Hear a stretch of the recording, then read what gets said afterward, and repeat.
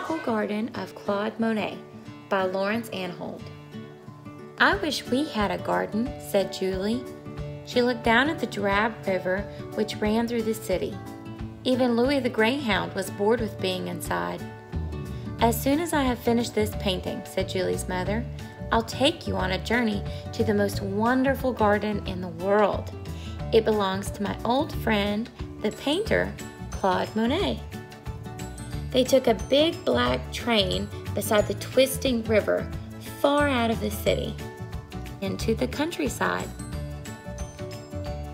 Then Louis began to run down the hill and into a lane where a huge wall stood around a mysterious garden. Stop, Louis, called Julie, but it was too late. Louis had gone. Julie didn't know what to do. She got down on her hands and knees and wriggled inside. It was like crawling into a dreamy world where twisting plants grew tall as trees. Julie ran around a corner and almost knocked over a big man with a spade. The man wore a straw hat and had a huge white beard. Oh, said Julie, I'm looking for my dog. Are you the gardener? I suppose I am, said the man. Come and look. One day, these tiny seedlings will grow into big flowers, but a gardener has to be very patient, just like a painter. Then Julie realized. You are Claude Monet, she gasped. Yes, laughed the old man. I am Claude Monet.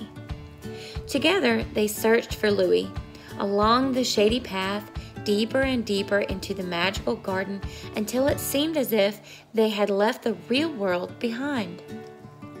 Under a willow, Julie saw Monet's umbrella, like a huge white mushroom.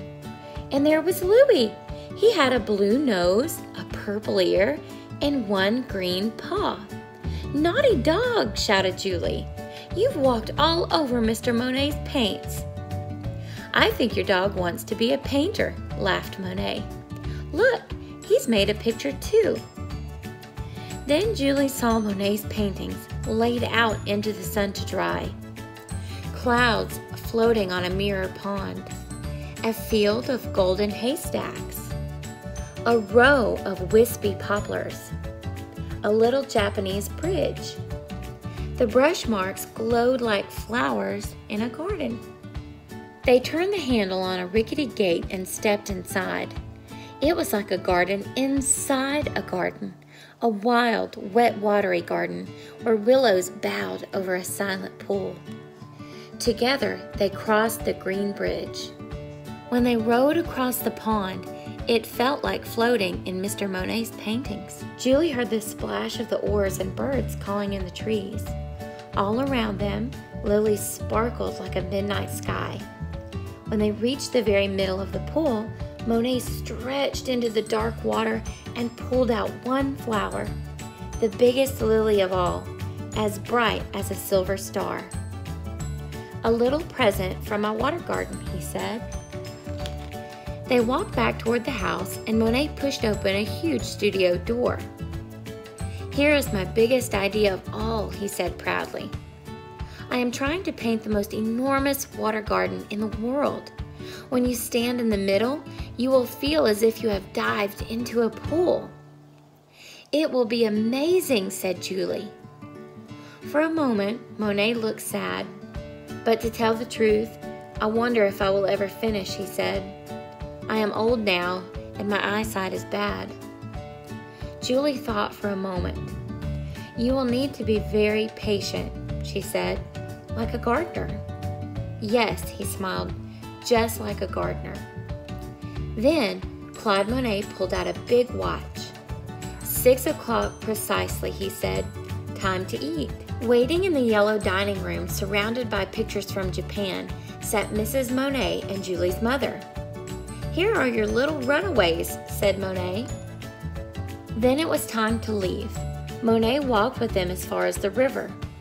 Louis wanted to say goodbye too, but as he jumped up, Julie's beautiful lily went flying into the river. Oh, Louis, shouted Julie, that was a special lily. They took the train back to the city, and even Louis was tired. The garden seemed like a distant dream. But in the middle of the night, Julie heard Louis whining to go outside. She tiptoed through the apartment. Beneath the balcony, something was sparkling on the river. Julie ran outside and stretched into the dark water. She pulled out a lily, as bright as a silver star. Perhaps it is a little present from the water garden, she whispered. And as the city slept, she breathed in the sweet smell of the magical garden of Claude Monet.